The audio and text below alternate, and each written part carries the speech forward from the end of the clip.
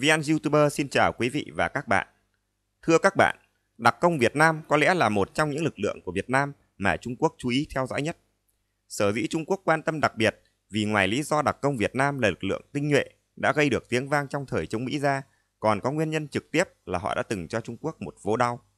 Đó là vụ đặc công Việt Nam thâm nhập vào lãnh thổ Trung Quốc để phá một đài radar lợi hại của pháo binh Trung Quốc năm 1984. Trong bản tin hôm nay, chúng tôi xin gửi tới các bạn những thông tin chi tiết xoay quanh sự việc này. Mời các bạn cùng theo dõi. Chắc hẳn nhiều bạn đã được đọc hoặc được nghe ở đâu đó rằng trong giai đoạn sau của cuộc chiến tranh biên giới phía Bắc, pháo binh của Trung Quốc nhờ vào một loại radar tối tân nên đã phản pháo rất chính xác vào các trận địa pháo binh của ta. Để tìm hiểu về loại radar này và nội dung câu chuyện đặc công Việt Nam tiêu diệt nó, chúng tôi đã tìm kiếm trên mạng Trung Quốc và tìm được một số bài viết có liên quan. Trong số đó, tỉ mỉ nhất là bài có tựa đề Đặc công Việt Nam phá hủy trận địa radar nhập khẩu của quân đội Trung Quốc của một cựu chiến binh quân đoàn 38 Trung Quốc đăng trên mạng thiết huyết. Ngoài ra còn một bài khác có tên là Lực lượng trinh sát Trung Việt tác chiến của một cựu lính trinh sát nhưng không nói rõ đơn vị cũng đăng trên mạng thiết huyết. Để tiện cho các bạn theo dõi, sau đây chúng tôi sắp xếp lại các chi tiết trong hai bài viết nói trên thành một câu chuyện theo trình tự thời gian. Sau năm 1979, không rõ cụ thể là năm nào, Trung Quốc nhập khẩu được một loại radar rất tiên tiến nhằm phát hiện vị trí trận địa pháo đối phương để phục vụ cho việc phản pháo. Khác với các radar thông thường, nó không cần phải chiếu trực tiếp vào mục tiêu để chỉ huy pháo binh xạ kích, mà nằm ẩn ở hậu phương của quân đội Trung Quốc.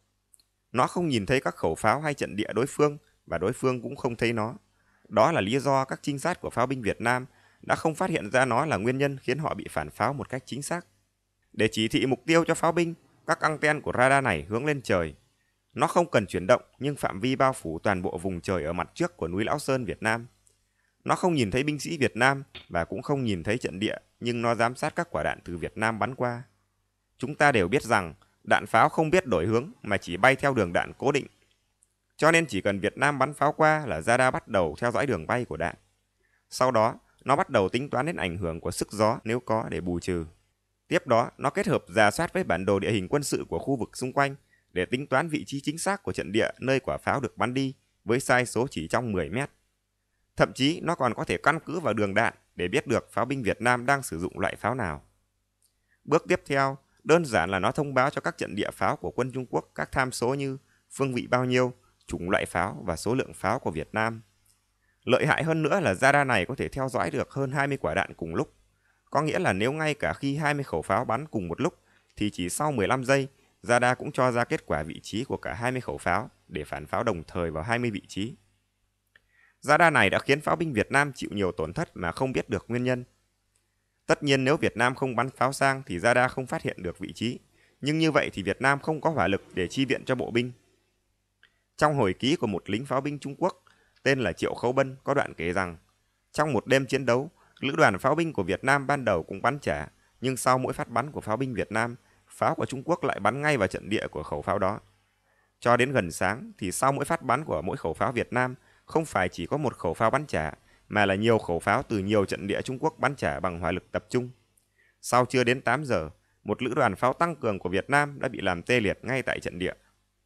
Về loại radar này, có thông tin nói rằng Trung Quốc đã mua từ Anh, cũng có thông tin nói rằng mua từ Thụy Điển. Lại cũng có người nói mua của cả hai nước này, mỗi nước hai hệ thống. Sau khi mua được radar, một hệ thống được mang ngay ra mặt trận tác chiến với Việt Nam, còn một hệ thống được mang vào công xưởng tháo rỡ ra để nghiên cứu sao chép. Thực tế sử dụng loại radar này đã chứng minh nó có tác dụng rất lớn, khiến pháo binh như hổ thêm cánh. Tuy nhiên quân đội Việt Nam cũng không ngồi yên chịu trận. Họ đã sử dụng đặc công đánh vào trận địa radar đó.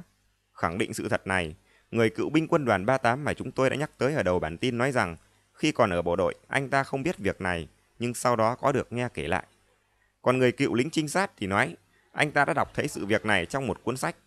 Trong sách đó kể rằng, lúc 3 giờ sáng ngày 10 tháng 6 năm 1984, một nhóm binh sĩ của đoàn đặc công 198 Việt Nam đã thâm nhập vào trạm Sada nhập khẩu từ Thụy Điển, tấn công tiêu diệt nó. Trận đánh khiến cho các nhà lãnh đạo quân sự cấp cao của chúng ta bị một cú sốc lớn và phải báo cáo Đặng Tiểu Bình. Đặng Tiểu Bình đã trực tiếp nói, đặc công Việt Nam có thể tiến đến, vậy trinh sát của chúng ta thì vì sao lại không thể hành động? Người cựu binh quân đoàn 38 còn nói rằng, đặc công Việt Nam đã vượt qua đại đội cảnh vệ, bảo vệ trạm radar để tiêu diệt hệ thống này. Người này bình luận, đặc công Việt Nam đã tổ chức trinh sát mục tiêu hai lần, đến khi hoàn toàn chắc thắng mới phát động tấn công. Họ chỉ đánh trong khoảng 10 phút là hoàn thành nhiệm vụ rồi rút lui và không bị thương vong nào. Dưới góc độ nghệ thuật tác chiến thì đó đúng là một trận đánh kinh điển của lực lượng đặc biệt. Thưa quý vị và các bạn, trên đây chúng tôi đã thu lượm thông tin từ hai cựu chiến binh Trung Quốc để góp phần làm sáng tỏ một sự kiện trong giai đoạn sau của cuộc chiến tranh biên giới phía Bắc. Qua sự việc này và qua những bình luận của hai cựu chiến binh Trung Quốc, chúng ta càng hiểu thêm vì sao phía Trung Quốc lâu nay rất chú ý lực lượng đặc công của Việt Nam. Dân gian Việt Nam có câu, miếng ngon nhớ lâu, đòn đau nhớ đời. Bởi đòn đau này, Trung Quốc nếu muốn gây sự với Việt Nam thì phải chú ý quan tâm tới đặc công Việt Nam là điều hoàn toàn tự nhiên. Bản tin của chúng tôi hôm nay đến đây là kết thúc. Xin chào tạm biệt và hẹn gặp lại.